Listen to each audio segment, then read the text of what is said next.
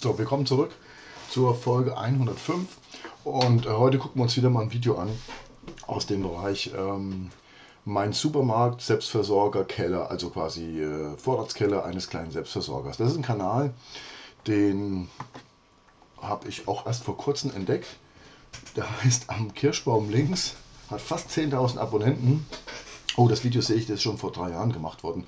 Aber egal, das gucken wir uns mal an, was er da alles Schönes hat ich sag mal ganz ehrlich, beneide immer die Leute, die Zeit dafür haben, die das können, auch vor allen Dingen äh, selber äh, Pflanzen, Gemüse und so weiter anzubauen und zu ernten und einzukochen und dann entsprechend halt einen gesunden Vorrat an, äh, anzulegen halt und nicht nur dieses gekaufte Zeug, wie ich das zum Beispiel habe, ne? mangels Zeit und so weiter. Also ich bin gespannt, auf geht's. Fangen wir mal an. Am besten, am besten wir fangen von Anfang an, oder? Ja, so machen wir es. Viele von euch haben sich ja gewünscht, mal einen Blick hier unten in unseren Selbstversorgerkeller. Und ja. heute ist es endlich soweit. Ich habe es endlich mal geschafft, hier mal die Kamera oh, mitzunehmen, hier mal ein bisschen Ordnung zu machen, wo die Kamera hier hinstellen kann. Ist momentan auch ein relativ großer Lagerplatz für allen möglichen Kram. Aber da bin ich dran, um aufzuräumen. Aber das ist ja heute nicht Thema, sondern Thema ist heute Selbstversorgerregal. Das sind doch auch diese IKEA-Regale, IWA, wie ich sie auch habe. Hinten mit diesen schrägen, äh, ne, mit diesem äh, Haltekreuz oder diese Stützen hier und die sind einfach nur äh, lasiert oder eben braun gestrichen halt. Die, gleichen habe ich auch. Das ist optimal. Egal, Selbstversorger Keller, was so alles eingelagert wurde die letzten Jahre. Da würde ich euch gerne heute mal mitnehmen. Aber wie Abby und ich den Keller hier gerne immer nennen, ist unser Supermarkt, ja. der Supermarkt des Selbstversorgers. Cool. Und ich würde sagen, wir fangen am besten mal da unten an. Ja, hier unten stehen zum Beispiel die Saatkartoffeln schon mal für nächstes Jahr. Die haben, ja, fangen leider schon ein bisschen an zu keimen. Hier habe ich dieses Jahr mal in Sand, in Sand eingeschlagen. Die Sorte Agria. Hinten habe ich noch große Eimer. Auch da die Kartoffeln in Sand eingeschlagen. Ich will mal gucken, ob es dieses Jahr besser funktioniert. Dann hier eine Kiste mit den letzten Kartoffeln. Der Rumtopf hier. Also wahrscheinlich auch selbst geerntet, ne? Ja, schon geil. Was, Rumtopf? Ist dieses Jahr auch leider wieder leer. Ich hoffe, ich schaffe es nächstes Jahr, den mal zu befüllen. Hier hinten sind noch ein paar Kartoffeln. Der blaue Schwede, die kommen zu Silvester in den Kartoffelsalat für die Farbe. Und dann hier ganz viele Saatkartoffeln. Einmal Rosara, Laura. Dann habe ich noch ein bisschen Jelly aufgehoben. Ich glaube, das ist auch irgendwie so eine Wissenschaft für sich, oder? Mal die ganzen unterschiedlichen Kartoffeln. Für mich sind das äh, Kartoffeln. Kartoffeln. Ne? Also ich ganz ehrlich, ich könnte das gar nicht unterscheiden, was was ist, aber krass. Finde ich, find ich cool. Und hier unten sehe ich, ist noch eine Mix. Und ich entdecke immer wieder äh, Wissenslücken und äh, ja, Bildungslücken auf jeden Fall bei mir, ganz klar. Aber deswegen gucke ich mir so Videos an, ne? Da, da kannst du nur von lernen, das ist einfach so. Kiste, also die kann damit drauf, die wird zum Verkochen benutzt. Hier hinten noch zwei Hokkaido-Kürbisse mhm. und ein großer Jack-O-Lantern. Der Jack-O-Lantern, der muss aber auch so langsam jetzt verarbeitet werden. Der überschreitet langsam seine Lagerfähigkeit. Also kommt der lang. Wie viel, äh, wie viel Pötte äh, Suppen kannst du davon machen? Wahrscheinlich kannst du eine ganze Woche von essen oder so. In die Suppe. Gehen wir mal weiter in die Konservenabteilung. die Konservenabteilung. Was haben wir denn hier? Hier haben wir jetzt noch zwei Gläser Bohnen von 2017. Was heißt so? Ach, 2017 sind sie wahrscheinlich äh, gemacht worden.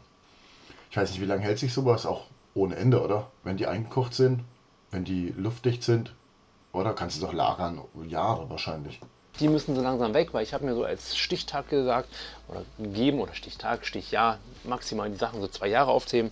Also müssen die auch jetzt so langsam weg. Also zwei Jahre. Maximal. Hier fehlen leider die Schilder, aber das müsste... Also quasi keine Langzeitlagerfähigkeit, äh, sondern halt zwei Jahre, wie jetzt die normalen Konserven so aus dem Supermarkt halt auch. Zwei Jahre, okay. Also in, innerhalb von zwei Jahren verbrauchen oder neu machen. Ja gut, hast ja dann noch neue Ernte und so, macht ja durchaus Sinn. Von 2018, nee, halt 2019 Einlegegurken sein oder Gewürzgurken sind hier drin. Dann haben wir hier noch Tomatensauce von 2019. All in. Ähm, Tomatensauce mit ganz viel, wie heißt der, Aubergine ist hier drin. Dann haben wir hier noch ein bisschen Rotkohl von 2018. Hier sind die Gewürzgurken von 2018. Sauerkraut, oh, Sauerkraut muss auch langsam weg, auch von 2017, auch so langsam verbraucht werden. Wie cool ist das denn, oder? Wenn du dir die Arbeit einmal gemacht hast, und ich habe das ja schon ganz oft gesehen, auch bei anderen äh, Videos, die ich mir angeschaut habe, hier zu dem Thema Selbstversorger, ähm, im Endeffekt, der, der Aufwand ist wahrscheinlich der gleiche, ob du jetzt eine Portion Gulasch zum Beispiel machst oder zehn. Ja? Und das, was halt nicht gleich gegessen wird, wird eingekocht und dann hast du dann, ja, die Sachen im Keller stellen, gehst dann einfach mal runter und sagst, ja, okay, alles klar, was gibt's heute? Oh, Gulasch, Sauerkraut, Tomaten, äh, Auberginen, dieses, jenes. Das ist schon cool. Das ist schon cool. Und das Gold der Kinder, Tomatenketchup darf auf gar keinen Fall fehlen. Wenn ich irgendwo Videos dazu habe, die verlinke ich euch mal alle oben rechts im Eck oder unten in der Infobox. Auch hier wieder Gewürzgurken, Gewürzgurken, Gewürzgurken, sind von 2019. So, dann haben wir die Marmeladenabteilung, die irgendwie nie alle wird. Deswegen, ich habe mich gebremst mit Marmeladen machen. Da muss ich mal gucken, dass ich die wirklich in den zwei Jahren aufbrauche. Jetzt habe ich letztes Jahr Stachelbeermarmelade gemacht, wieder ein bisschen Sauerkirschmarmelade. Dann haben wir hier Johannisbeermarmelade von 2000. Das ist meine Oma auch ohne Ende. Da haben wir im Keller noch Stachelbeer, also eingekochte Stachelbeeren gefunden von, äh, keine Ahnung, deutlich vor der Wende. Das sind ja auch 1990 oder Quatsch, 80 oder so, also unfassbar. 18. Hier ist die letzte Sauerkirschmarmelade, aber ich sehe schon, die sieht nicht mehr so lecker aus. Die wird wahrscheinlich wegkommen. Ist ja schon wieder die nächste Sauer. Wahrscheinlich so eine gewisse Prozentsatz äh, ist aber halt auch, ne? So ein bisschen ab und zu muss man was wegschmeißen. Haben wir ja schon in dem Video hier von äh, Selbstversorger Rigotti gesehen. Ein bisschen Schwund ist halt immer, ne? Irgendwie. Kirschmarmelade, Johannisbeermarmelade auch von 2019. Hier ist noch Johannisbeermarmelade von 2017. Also ihr seht, macht nicht. Na gut, Marmelade wäre jetzt für mich nichts, weil bringt mir nichts, wenn ich keine Marmelade esse. Macht nicht wirklich Sinn, aber ah, diese fertigen Tomatensachen hier, das hat mir schon gut gefallen. Ist zu viel Marmelade. Also wir essen nicht zu viel Marmelade, mal vielleicht in einem Joghurt drin oder aufs Brot am Wochenende. Ansonsten essen wir so wenig, so gut wie wenig, ja, so gut wie wenig. Sehr so selten wenig. Marmelade, deswegen hält die bei uns immer ewig. Genau wie der Pflaumenmus, hm. der ist von 2018. Ja, oh, 1, 2, 3, 4, 5, nee, 4 Reihen, A, 5 Gläser, nee, 4, 4 Gläser, also 16 Gläser. Die halten auch. Aber kann man vielleicht tauschen oder für, was weiß ich, verschenken halt oder so. Oder tauschen. Ich würde da die ganze Zeit nur äh, Gulasch, Chili con Carne, gejagtes und, und so ein Zeug, das würde ich die ganze Zeit wahrscheinlich einkochen. Drei, drei Jahre. Und nach drei Jahren, wenn die alle sind, kann man den, die neue Charge machen. Wieder Sauerkirschmarmelade von 2018, Erdbeer-Rhabarber-Marmelade, auch von 2018. Ganz schön viel Marmeladen. Marmeladen brauche ich dieses Jahr und nächstes Jahr auf gar keinen Fall machen. Gehen wir mal eine Etage weiter nach oben. Und was wäre ein Kirschbaumgarten ohne eingelegte Kirschen? Es geht doch nichts über einen Kompott mit eingelegten Kirschen. Ist einfach nur geil, lecker, schön auf dem, ja, in einem Joghurt zum Beispiel drin oder einfach nur so zum ja. Löffeln. Ein Gedicht. Apfelmus habe ich auch noch von 2018. Hier oben stand noch ja. letztens einer von 2017, der ist jetzt alle, also nur noch 2018 Apfelmus. Da wird dann ich würde vor allen Dingen mal interessieren, was er hier in den äh, Kartons überall hat hier. Ne? hier. 2020 wieder ein neuer gemacht, große Charge, damit sich die Sache auch lohnt. Also ich mache mal so zwei Jahresrhythmus immer neue Sachen. Hm. Birnenkompott aus den Naschi-Birnen, auch ah, göttlich lecker. Wie ihr seht, die sind so schnell weg gewesen. So schnell kann man gar nicht nachmachen. Ein Glas habe ich mir noch gesichert. Die Naschi, das sind diese Bapfel, oder? Bapfel, ne? Die so aussehen, also die so, so, so wie eine Birne aussehen, aber irgendwie wie ein Apfel schmecken, so ungefähr, oder? Das sind doch die Naschi. Für einen guten Anlass. Und rote Beete im Dezember 2018 gemacht. Davon haben wir auch noch genug Gläser. Also bis die alle sind, Ende 2020 kann ich dann wieder neue machen. Und was stehen so die letzten, allerletzten Gläser? Honig, oh. mein letzter eiserner Vorrat. Der das ist natürlich cool. Alter, gleich eine Imkerei noch mit dabei. Und die heißt auch am Kirschbaum links. Sehr, sehr cool. Wir haben ja bei uns im Ort auch äh, Imker, die die Bienen auch, äh, oder ihr Bienenstöcke, oder wie das heißt, äh, tatsächlich in der Nähe von unserem kleinen Waldgrundstück haben. Äh, Gartengrundstück. Und ähm, von dem beziehen wir das auch manchmal. Also mache ich mal eine größere Menge gekauft. Das ist schon richtig gut, der Honig. Ne? Selbst gemacht halt. Ne? Auf jeden Fall aufgehoben. Ist aber auch nicht billiger, als wenn im Laden. Also im Laden kaufen ist, ist günstiger. Zum Beispiel jetzt hier im Winter verbrauche ich oder in der kalten Jahreszeit verbrauche ich sehr viel Tee, äh, sehr viel Honig im Tee. Hier machen wir schwarzer Tee mit Honig. Und da geht halt so, so eine, so eine, eine, eine Quetschpackung hier, die geht dann schon mal in der Woche drauf. Also da kommt in eine Kanne 1,5 Liter Tee, äh, immer so 90 bis 100 Gramm von dem Honig. Da nehme ich tatsächlich auch den billigen. Ah, Da ist mir wirklich das Geld zu schade, den guten Honig da reinzuballern, weil im Endeffekt schmecke ich keinen Unterschied daraus. Auf dem Brot, schönes Butterbrot oder so, Brötchen mit Honig, ja, dann, möcht's, dann soll schon der gute sein. Ne? Aber ähm, ich glaube, ich habe die Dinger im, im Aldi oder irgendwo mal für 2,99 oder so gekauft, die 500 Gramm Packung. Also hier diese, diese Dinger. Aber das habt ihr ja auch wahrscheinlich gesehen in meinem äh, Video zur, ähm, zu meinem Vorratsregal. Das sind die ja, die verbrauche ich halt jetzt über den Winter extrem oft. Auch wenn die nach einer gewissen Zeit schon so fest werden, nicht mehr so ganz flüssig, musste dann schon irgendwie mit einem Stöcher da, da rein und so, ne, in, in das Teil. Aber ähm, ja, da ist der Verbrauch im, über die kalte Jahreszeit bei mir ganz krass, ne? Prost. Für mich ein kleines Ego. Nein. So, was haben wir hier oben? Tomatensoße. Die gute Tomatensoße, die darf natürlich auf gar keinen Fall fehlen. Standard-Tomatensoße mit Tom äh, Tomaten, ein bisschen Paprika drin, ein bisschen Chili drin und ganz vielen Gewürzen. Komplette Grundlage. Und dann haben wir hier noch alles, ne? eine. Ja, ich hatte genau, hatte mal zu viel Bohnensuppe eingekocht. Auch die, das heißt eingekocht, gekocht. Die war zu viel gewesen. Also habe ich mir die nochmal richtig schön heiß gemacht. Gläser eingefüllt, kurz und Wegautomaten. Und ja, somit habe ich für die kleinen, für den kleinen Snack zwischendurch mal ein kleines Süppchen. Und hier wird gestapelt bis zur Decke, die ist Genau. hier nicht so hoch. Das ist, ja, das ist ja das Coole an diesem IKEA-Regal, an dieser IVA-Serie, also IVAR. Ich habe hier, auch hinter mir, seht ihr, hier im, im Office, im Studioraum, äh, im Lager, privat wie im Geschäft, überall diese IKEA-Regale hier, diese Teilchen. Die kannst du nämlich wunderbar stapeln und die gehen bis hoch, die sind zwei Meter und noch was hoch. Da kannst du, genau wie, wie er es hier zeigt, hier im Video wirklich bis unter die Decke stapeln. Seht ihr auch in meinem Video, wo ich mein Vorratsregal vorstelle. Aber es geht wirklich auf einen Zentimeter bis unter die Decke, kann man den Platz richtig krass gut ausnutzen. Das ist absolut cool. Der Altbaukeller, da sind die Decken nicht so hoch, also kann ich hier nicht so hoch stapeln. Selbst in der Garage bei mir, wo die Decken tatsächlich nicht so hoch sind, wo ich nicht mal ein 2,20 Meter äh, 20 Regal aufstellen konnte, dann habe ich halt da ein paar Zentimeter abgeschnitten, irgendwie so 10, 12 Zentimeter und habe trotzdem die komplette Fläche bis zur Decke ausgenutzt. Das ist schon cool. Und ist auch nicht so teuer, glaube ich. Also die, äh, also zumindest wo ich sie gekauft habe, ich, ich nutze die IWA-Regale von Ikea schon bestimmt 15 Jahre. 2008? Oder 2008? 2007, 2008, ja, ja. Was haben wir hier oben, oben noch? Ach, cool. die, genau, den Apfelmus. Und hier Experiment diesmal habe ich Pflaumen eingekocht für den Kuchen. Die werden normalerweise ähm, ja, in Flüssigkeit einge eingeweckt, aber die hier nicht. Die werden in eigenen Saft eingekocht, also die werden nur eingeschichtet. Und dann werden die eingekocht und dann liegen die im eigenen Saft und können dann so für Kuchen etc. verwendet werden.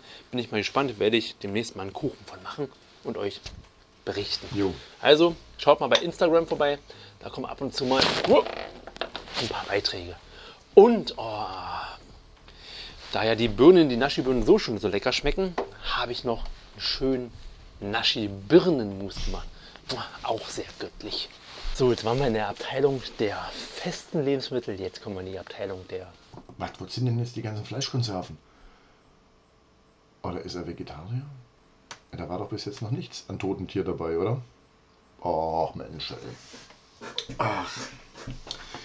Schade. Schade, schade, schade. Wie gesagt, ich würde da wahrscheinlich Gulasch-Suppen machen ohne Ende.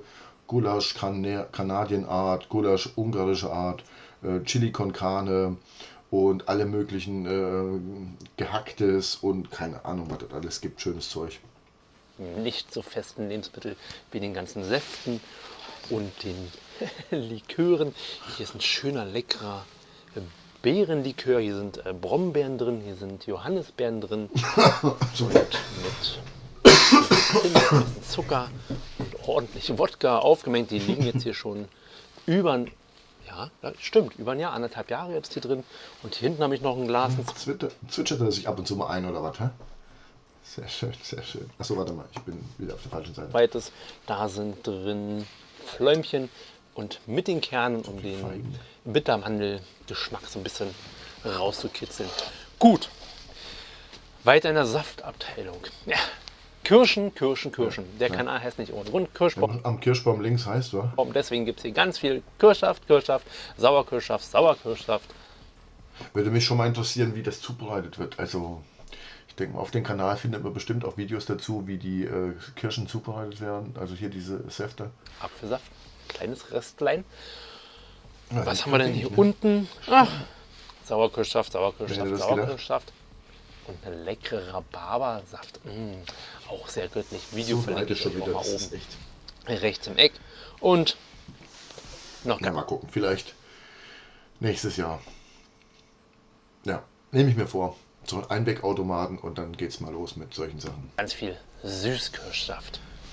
So, dann lasst uns mal gucken, weil es gibt ja nicht nur Konserven hier unten im Keller, sondern noch einen kleinen Tiefkühler. Und hier sind auch noch ein paar Sachen drin, wie zum Beispiel ein paar leckere Johannisbeeren eingefroren. Schön die ganzen, also die heile gebliebenen Früchte, locker auf einem Blech gelegt, eingefroren und dann erst in den Behälter, also nicht im Stück in den Behälter einfach reinschütten, sondern erst auf einem kleinen Tablett oder irgendwas. Ich habe ein Tablett, was hier genau reinpasst. Dann kann ich die schön einfrieren, dann sind die schön gefroren und dann kann man die in den Behälter machen und dann kann man nämlich einmal ich hoffe, es war nicht zu laut. Einmal schütteln, dann sind die wieder lose und bappen nicht so komisch zusammen, als wenn man die immer mit einem Stück in so eine Schüssel schüttet.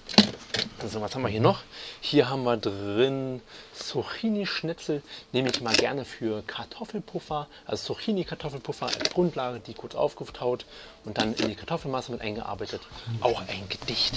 Und äh, ganz viele Lauchzwiebeln. Lauchzwiebeln ist ein immer herzlich willkommen in einer schönen, schönen Pfannengericht. Einfach lecker. Ihr seht hier oben sind auch alle ganz viel. Aber da kommen wir voll raus. Gut. Später zu. Hier, genau, hier habe ich Bratensoße noch drin. Ich mache immer einen großen Topf mit Bratensoße und friere mir das immer ein. Dann habe ich immer eine kleine Portion für meine leckere vegane Bratensoße. Ja, alles klar. Okay, das war das Stichwort. Ich habe mir schon gedacht jetzt, ey, da war noch nirgendwo irgendwie totes Tier drin, ne? Und dann erzählt auf einmal Bratensoße. Okay, alles klar, vegane Bratensoße macht da einen großen Topf. Okay, hm. Ja, Video wird bestimmt dazu auch noch folgen. So, was haben wir denn hier noch? Ganz viel Petersilie. Ganz viel Lauchzwiebeln. Was haben wir hier drin? Was haben wir hier drin? Was haben wir denn hier drin? Ah, genau, hier. Spinat. Einfach Spinat eingefroren. Video, wie gesagt, auch oben rechts verlinkt, beziehungsweise unten in der Infobox. Und ja, das war's in der Etage. Gehen wir mal eine Etage weiter nach oben. Hier oben haben wir noch ein paar Möhrchen. Die habe ich mir letztes Jahr auch noch eingefroren. Die letzten Reste. Hier ist noch ein bisschen Petersilie. Und dann sind hier nur noch, wenn ich so rausgekommen, ganz viele Pflaumen. Mit den Pflaumen, ich mach's mal auf. okay. Mit den Pflaumen mache ich es genauso wie mit den äh, Johannisbeeren. Erst auf ein Blech legen und dann, wenn die eingefroren sind, kommen die erst in die Box und dann sind die auch so schön locker hier drin eingelagert. Und das war's in meinen Tiefkühlern. Mehr habe ich da nicht drin. Reicht aber auch. Also Schrank wieder zu. Jetzt habt ihr mal gesehen, was hier so alles noch in meinem Keller rumlagert. Kartoffeln sind es dieses Jahr nicht wirklich viel geworden, aber es liegen noch draußen Kartoffeln in den Eimern. Die will ich so gut wie, so gut wie lange wie möglich draußen in den Eimern lassen, gucken, wie lange die durchhalten. Das ist ein Experiment dieses Jahr, ob man die lange in den Eimern lagern kann oder nicht. Ich werde es im Frühjahr ernten und mal gucken, was da passiert. Und mich würde jetzt mal interessieren, was lagert ihr alles so ein? Was habt ihr in euren Kellern, in Konserven, in Tiefkühlern etc.? Und ja, wie lagert ihr euer, zum Beispiel euer frisches Gemüse? Habt ihr draußen eine Erdmiete oder irgendwas? Also schreibt mal gerne alles in die, in die Kommentare. Und mir bleibt auf jeden Fall nur zu sagen, vielen Dank fürs Zusehen und bis zum nächsten Mal. Wünscht euer Thomas. Den Kanal merke ich mir auf jeden Fall mal vor. Das fand ich richtig cool. Am Kirschbaum links erstmal direkt Abo dalassen. Liken, klar. Ja gut, was soll ich da schreiben? Ähm, wie lagern wir die Lebensmittel? Habe ich ein Video drüber gemacht. Kartoffeln und sowas äh, habe ich selber gar nicht gelagert. Meine Eltern, die haben einen Kartoffelkeller tatsächlich, wo eben solche Sachen drin liegen. Äh, aber ich habe, ich setze halt mehr auf Konserven halt und natürlich auch Langzeitlebensmittel. Habe ich aber auch ein Video schon gemacht drüber. Äh, findet ihr alles. Aber lasst noch mal gerade gucken, was er hier alles noch so zu bieten hat. Am Kirschbaum links ist auf jeden Fall erstmal sehr, sehr cool. Ähm. Was macht er für einen Gartenrundgang? Okay. Anbaufläche, Wiese. Der zeigt da wirklich alles, wie hier Beete vorbereitet. Okay, da, da muss ich auf jeden Fall mal reingucken. Das ist cool. Kann man nur lernen. Ne?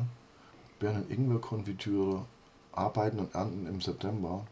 Ja, klar, bevor das Ganze halt in, die, in den Keller kommt, der kauft das ja nicht irgendwo, macht er alles selber. Ne? Da muss natürlich auch erstmal geerntet werden. Das setzt natürlich auch wahrscheinlich einen sehr, sehr hohen Aufwand voraus. Ne? Klar. Imker macht er auch, ja, hat er gesagt schon. Cool. Was kommt rein ins Gewächshaus? Ah ja, das ist wirklich, das ist wirklich interessant. Okay, also Kanal ist auf jeden Fall abonniert. Da gucken wir uns, da gucken wir ab und zu mal rein hier. Regelmäßig neue Videos, sehr, sehr cool. Okidoki, prima. Ja, sind wir durch mit dem Video. Ähm, denke mal, es hat euch auch gefallen. Also ich fand es echt cool, interessant und wie gesagt, man lernt ja, man lernt ja, man kann nur lernen. Man kann nur lernen von den Leuten. Deswegen ist ja YouTube so genial, weil die Leute ihre Sachen vorstellen hier, wo sie selber Erfahrungen mitgesammelt haben und auch ein Wissen weitergeben.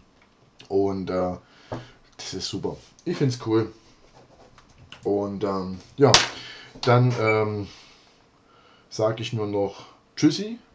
Bis zum nächsten Mal. Immer Dienstag, Donnerstag, ihr wisst Bescheid, 18 Uhr.